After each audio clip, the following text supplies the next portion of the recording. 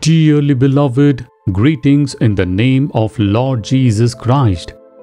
This is a prayer mountain which is in Kenya. It is called Heaven's Gate Prayer Mountain, and I am speaking to you from there today. In this place, people come together daily and pray for the country. This is an auditorium that is located on the prayer mountain. 3,500 people can be seated there and pray. What you see on this side is their office building. Whoever wants to enter this place will have to come here first and register their names. If they need a place to stay, they will allot rooms for them and send them for prayer. People are always present over here. They keep praying. My heart feels overjoyed seeing this, okay? Do you know what word the Lord has for you today? 2 Corinthians chapter 12 and verse 9. The Lord says, My grace is sufficient for you, for my strength is made perfect in weakness. He looks at you and says this. Here, a wonderful man of God had a certain suffering in his body. It kept pricking him like a thorn. If there is a thorn in our body, won't it be very difficult? it would be unbearable. I was born and brought up in a village. In those days, when I was a small boy, we would go into the forest without slippers on our feet. Thorns will poke us. If a thorn pokes us, our walk will change. Won't that thorn cause us agony? Only after it is taken out, our walk will become proper. So if a thorn pokes us, it causes great agony.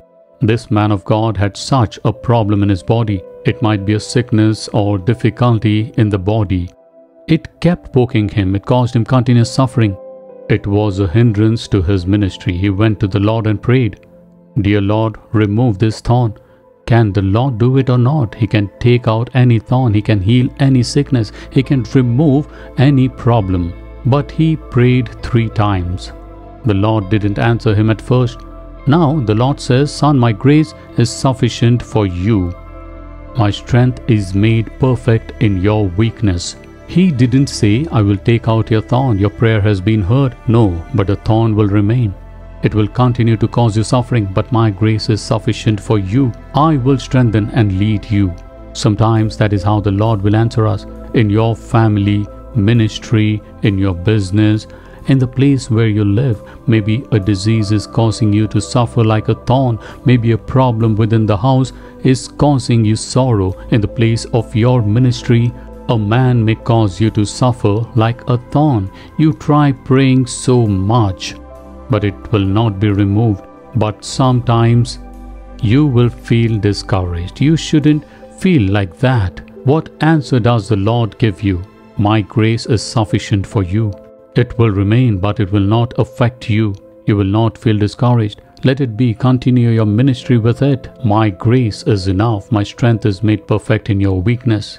Even in my life, when I pray for others, miracles will happen. Sometime when I pray for myself, the struggles in my body and in my life, it will never leave even when I pray. I would say, Lord, you perform a miracle for everyone but you aren't doing anything for me, then the Lord would say, You should always think in your heart that I am the one who is using you. This is necessary for you so that you don't exalt yourself. In spite of it, serve me. My grace is sufficient for you, so I will praise the Lord for the weakness and shortcomings in my body. It will always remind me I am only an ordinary man.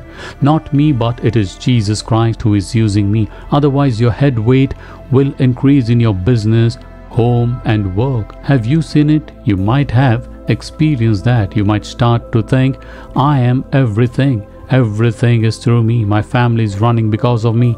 Without me, everything is finished. In order to change our pride, the Lord God will allow some thorns in our lives to make us humbly surrender ourselves. His grace is sufficient. His grace has been sufficient for me all these years. That grace is sufficient for you as well.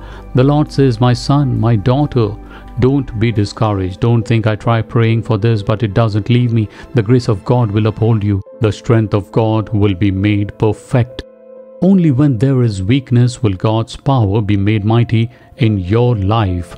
He will give you grace and lead you. Isn't it sufficient? Then say, Lord, it's okay. Let anything happen, let it remain unchanged. Your grace is sufficient for me, Father. It is sufficient if your strength is there for me. It will overcome it. I will live with this and emerge victorious. The grace of the Lord is enough. Dear Lord, your grace is sufficient for me, Father. I will not be worried or troubled about this anymore. I will not feel discouraged. Your grace is sufficient. Your strength is made perfect in my weakness. That is enough for me. I will advance further in the name of Jesus. Amen. Amen.